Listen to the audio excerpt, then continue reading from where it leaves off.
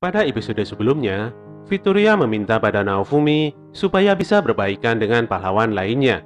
Mereka berempat adalah satu kesatuan yang tidak bisa dipisahkan. Mereka harus bersatu padu untuk menghentikan gelombang malapetaka. Apabila mereka masih berselisih, maka dengan sangat terpaksa, Victoria harus membunuh keempat pahlawan legendaris ini untuk memanggil empat pahlawan legendaris baru. Sebelum memasuki isi cerita, seperti biasa, buat kalian yang baru saja datang, silahkan untuk subscribe channel ini dan jangan lupa untuk menyalakan notifikasinya supaya kalian tidak ketinggalan info terupdate dari kami. Oke teman-teman, inilah alur cerita Tatenu Yusa episode 18.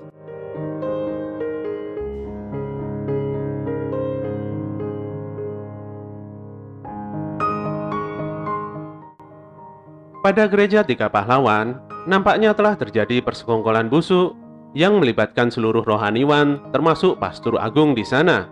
Sementara itu, Naofumi dan kawan-kawan telah diantarkan oleh Victoria untuk meneruskan kembali perjalanannya menuju Silfrieden.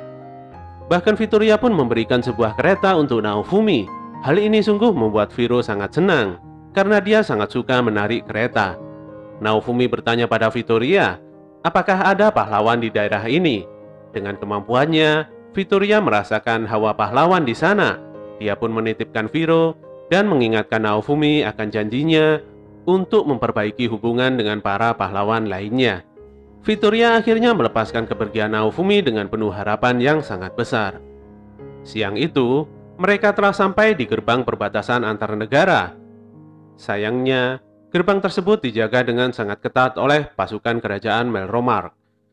Jika mereka melewati gerbang ini, maka mereka bisa sampai ke tujuan dengan sangat cepat. Sementara jika memutar lewat rute lainnya, maka waktu yang ditempuh sangatlah jauh dan memakan waktu berhari-hari.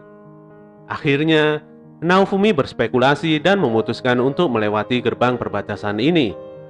Dia berharap bisa bertemu dengan Ren atau Itsuki, karena mereka berdua bisa lebih diajak berkompromi daripada Motoyasu. Apabila tidak diperbolehkan lewat, maka mereka akan menerobos saja. Mereka pun berangkat mendekati perbatasan.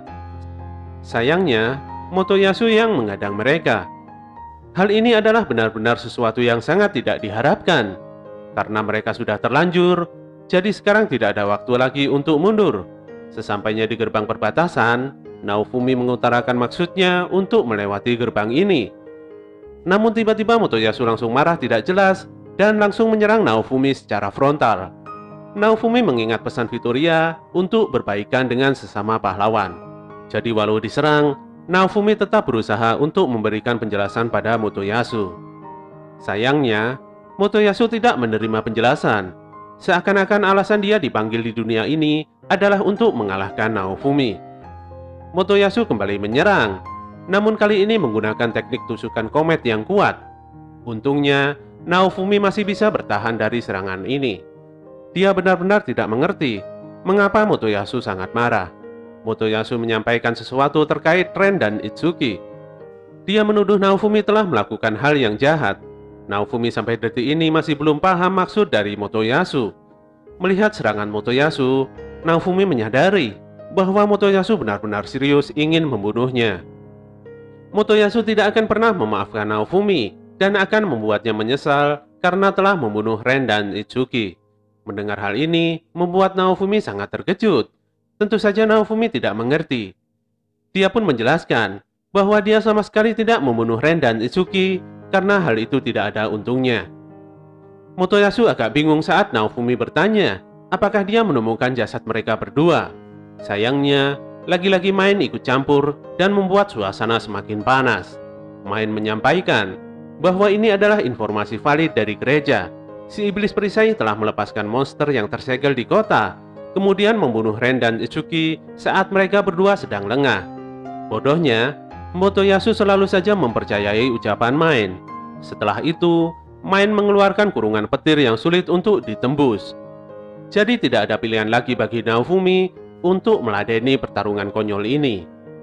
Motoyasu bersiap untuk menyerang, sementara Naofumi masih terus saja memberikan pemahaman padanya supaya menyelidiki dan memastikan dulu duduk permasalahannya. Sayangnya, usaha Naofumi tidak ada hasilnya Motoyasu lebih mempercayai Main daripada dirinya. Kedua parti pahlawan ini pun saling menyerang. Semuanya tidak mau mengalah satu sama lain. Kelompok Motoyasu menggabungkan kekuatan elemen angin dan api di dalam tombaknya. Sayangnya dengan kekuatan sebesar itu, mereka masih tidak bisa menembus pertahanan kuat milik Naofumi. Saat itu Naofumi mendapatkan skill gabungan dan langsung menyerang. Perisai udaranya langsung berubah menjadi perisai Soul Eater bersamaan dengan serangan Raptalia.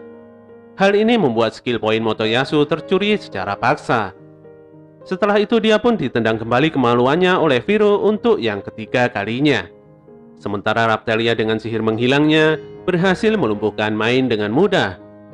Serangan terakhir dilancarkan oleh Viro dan Melty dengan menggabungkan elemen air dan udara sehingga menghasilkan angin topan yang sangat kuat.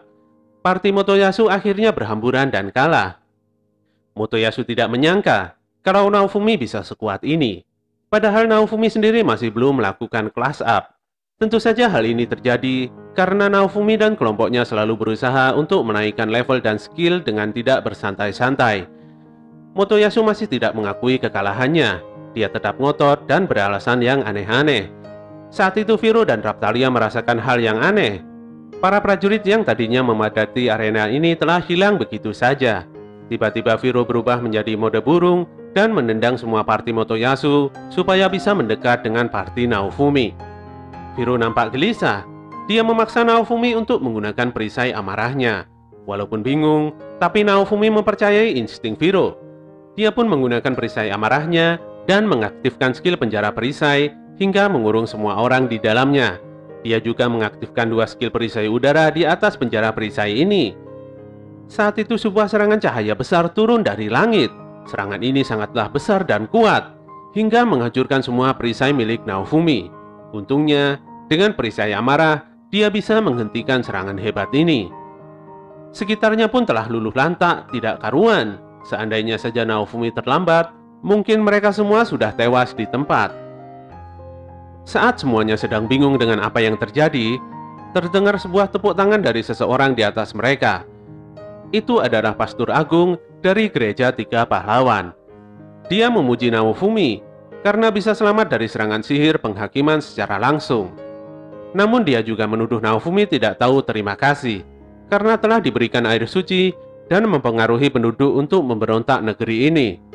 Dia menyebut dirinya perwakilan dewa dan akan menyucikan dosa-dosa dari pahlawan palsu. Dia juga menjelaskan bahwa Main dan Motoyasu akan disingkirkan dia dan sektenya akan menyiapkan sistem pemerintahan baru dan merebut tahta kerajaan dengan kudeta. Di sini Motoyasu sangat tersentak. Dia yang telah berjuang demi dunia ini ternyata telah salah dan mengetahui bahwa selama ini Naofumi tidak bersalah. Sang pastor akan menghukum semua pahlawan palsu yang telah merusak tatanan dunia ini.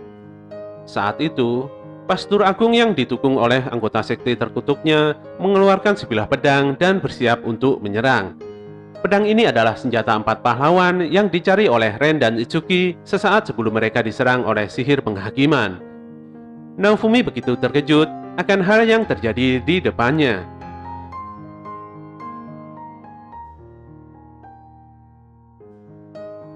Oke teman-teman, itulah akhir cerita dari anime Tatenu Yusa episode 18. Semoga kalian semuanya suka dan tidak bosan untuk terus mengikuti ceritanya. Bantu kami untuk terus mengembangkan channel ini dengan klik tombol like, komen, dan subscribe.